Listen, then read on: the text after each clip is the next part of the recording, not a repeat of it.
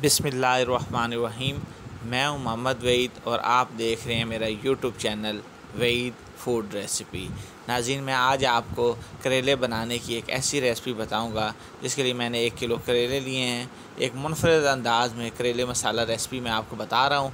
आपने जो है ना, इन करेलों को इस तरह से दरमियान में से दो पीस कर लेने हैं। दो पीस करने के बाद आपने किसी छुरी या चम्मच की मदद से इनको इस तरह से दरमियान में से खाली करना है।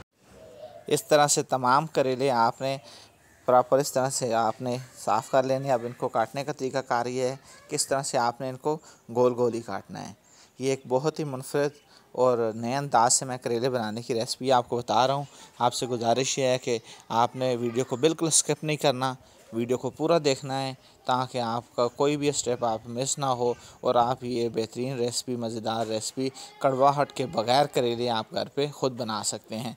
इसी दौरान आपसे गुजारिश है कि नए आने वाले दोस्त मेरे चैनल को सब्सक्राइब करें लाइक करें कमेंट्स करें, दोस्तों में शेयर करें। कि आपकी तरफ़ से हमारे लिए एक मोहब्बत होती है, एक प्यार होता है। हमें आपके कमेंट्स का बड़ी ही बेसब्री से इंतज़ार होता है।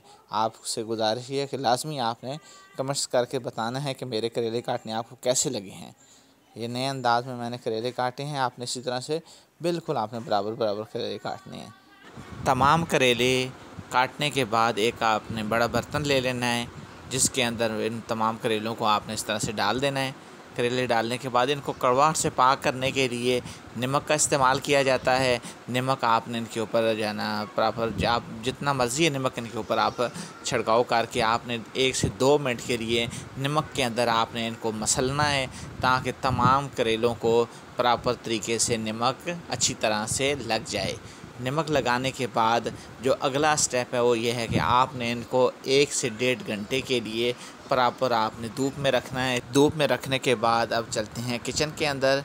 किचन के अंदर जाने के बाद मैंने जो है ना चूल्हे के ऊपर कढ़ाई रख दी है। कढ़ाई के अंदर आपने इतना आयल इस्तेमाल करना है कि जिस आयल के अंदर आपने इनको फ्राई भी करना है और उसी आयल के अंदर आपने इनका मिसाला भी तैयार करके प्रॉपर करेले तैयार करने हैं। ये करेले मैंने जो है ना धूप से उठा के इनको अच्छी तरह धो लिया था कि इनमें से नमक निकल जाए।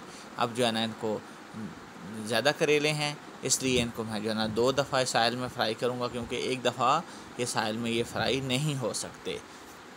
एक दफ़ा मैंने आधे करेले डाल दिए हैं, अब इनको जो है ना फ्राई करते हैं।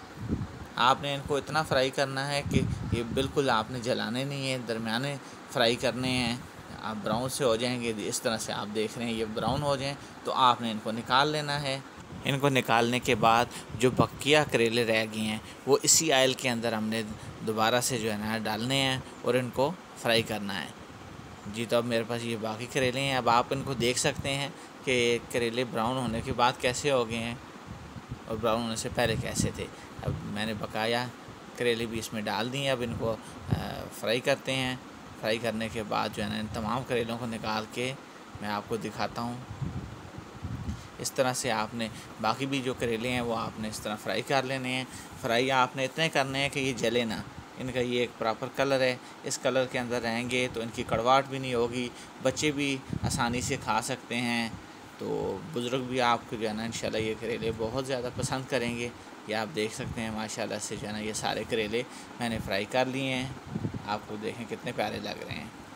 तो अब मसाला बनाते हैं। तो मेरे पास आधा किलो प्याज था जो मैंने काट के रखा था।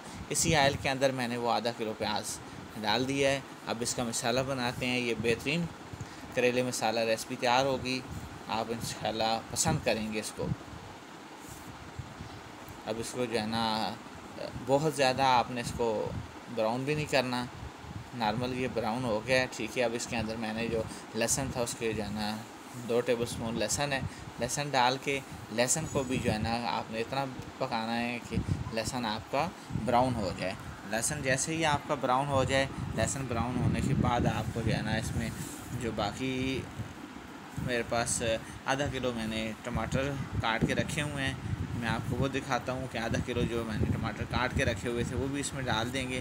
कि अब प्याज, लहसुन ब्राउन हो चुका है। अब इसमें जो मेरे पास टमाटर और सर्द मिर्च मैंने काटी थी, वो इसके अंदर मैंने डाल दिए अब इसको जो है ना, बहुत ज़्यादा आपने नहीं पकाना, क्योंकि ये करेले मसाला रेसिपी है। इसके अंदर मसाला आपको नज़र आएगा और इसकी खूबसूरती बनाएगा। आधा चम्मच जो है ना, इसमें मैंने नमक का डाला है और एक चम्मच मैंने इसमें सुरख मिर्च डाली है। और ये मसाला आप देख रहे हैं, तैयार हो चुका है। इसके अंदर जो मेरे पास करेले थे, मैं वो इसके अंदर डाल दिए हैं। अब इनको आप दो से तीन मिनट पकाएँ, इसको अच्छी तरह मिक्स हो जाएँ। तो ये आपकी करेले मसाला रेसिपी बड़े ही शानदार अंदाज में तैयार है।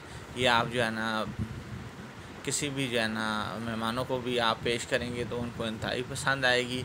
और ये कड़वाहट से बिल्कुल पाक हैं। इनको डिश आउट भी मैं करके दिखाता हूँ। आप ये घर में ज़रूर ट्राई कीजिएगा। बहुत अच्छी रेसिपी है।